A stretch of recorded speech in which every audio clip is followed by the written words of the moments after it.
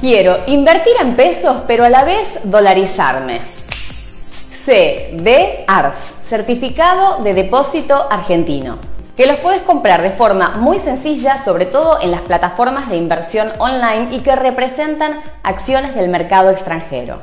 Por ejemplo, Google, Amazon, Visa, entre tantos otros. Los CDRs son una de las alternativas para protegernos de la pérdida de valor de los pesos.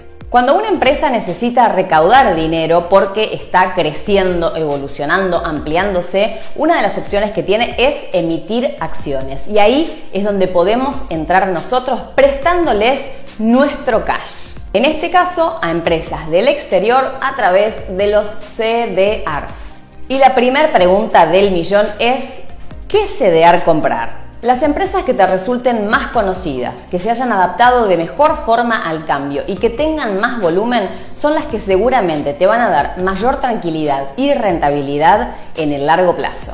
Apple, Amazon, Bank of America, Google son de las más conocidas y de las más seguras. La segunda pregunta es ¿cuándo gano dinero?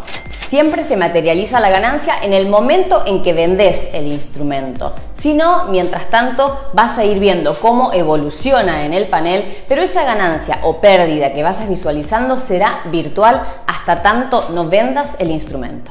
Tercera pregunta importante, ¿de qué depende la cotización? Como cualquier instrumento que opera en la bolsa, depende directamente de la interacción entre oferta y demanda, pero también en nuestro país hay una relación directa con el valor del dólar contado con liquidación.